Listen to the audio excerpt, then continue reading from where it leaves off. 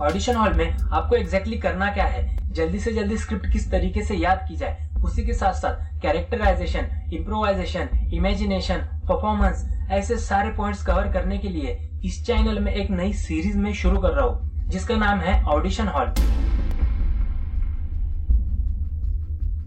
इस सीरीज़ में मैं आपको सेवन वीडियोस देने वाला हूँ, जिसमें ऑडिशन हॉल में एग्जैक्टली exactly क्या करना है वो बताया जाएगा। देखिए दोस्तों, यकीन कीजिए कि ऐसे पॉइंट्स कभी किसी ने नहीं बताए होंगे। आप जब ऑडिशन हॉल में ऑडिशन देने जा रहे हो तो ये पॉइंट्स फॉलो कीजिए। क्योंकि दोस्तों, मैं ये नहीं बता रहा हूँ कि आप सिलेक्ट हो जाने चाहिए या फिर आप सिलेक्ट हो जाओगे। मैं आपको ये बता रहा हूँ कि आप ही सिलेक्ट होने चाहिए। नमस्कार दोस्तों, मैं शिवम सालियान और आप देख रहे हो ऑडिशन ओनली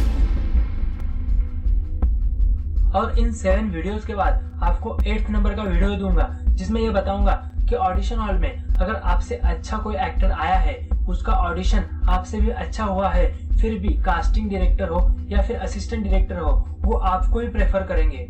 क्योंकि क्या है ना दोस्तों, जब हम ऑडिशन लेते हैं तो हमें पता होता है कि आप लोगों से कौन कौन सी गलतियाँ हुई है। और जब ऑडिशन हॉल में सब ऑडिशन खत्म होने के बाद, मुझे पता है कि क्या प्रोसेस फॉलो किया जाता है। हम किस तरीके से ऑडिशन लेते हैं, उस तरीके से ये सीरीज़ बनाई गई है। तो लास्ट तक देखते रहिए। और दोस्तों, अगर आप एक्टर बनना चाहते हो तो एक बार प्लेलिस्ट में जाकर भी देख लीजिए। मैं मोनोलॉग और एक्टिंग ऑडिशन ऐसे कई वीडियोस में अपलोड करते रहता हूँ। और अगर आपको कोई प्रॉब्लम आ रही है तो मुझे कमेंट में बताइए। मैं उस पर आपको एक परफेक्ट सॉल्यूशन एक परफेक्ट आंसर दूँगा।